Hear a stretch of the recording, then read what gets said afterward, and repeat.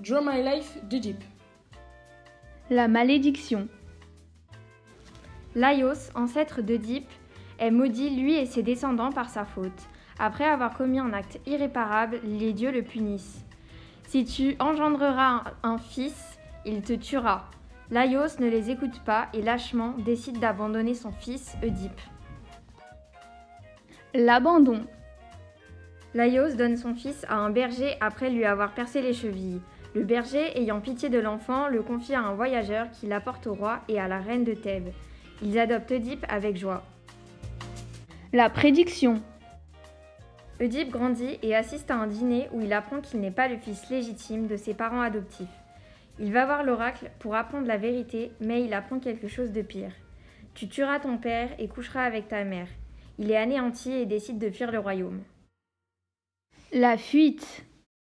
Sur un chemin étroit, il croise un voyageur et son valet qui l'empêche de traverser.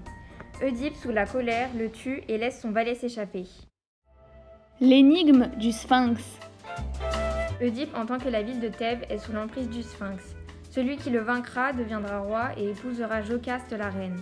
Il se rend sur la falaise où le sphinx vit et celui-ci pose son énigme. Quel animal a quatre pattes le matin, deux le midi et trois le soir? Il répond L'homme. Le sphinx vaincu se jette du haut de la falaise et meurt. Oedipe, roi. Oedipe est acclamé à Thèbes et se marie avec Jocaste. Ils ont quatre enfants ensemble.